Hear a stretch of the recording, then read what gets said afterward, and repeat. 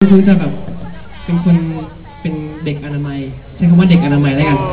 จะได้ดูแบบว่าน่ารักน่ารักนิดนึงอะเพลงต่อไปครับอยากให้ทุกคนได้สนุกสนาน แล้วก็อยากให้หัวใจทุกคนมีจังหวะหัวใจด้วย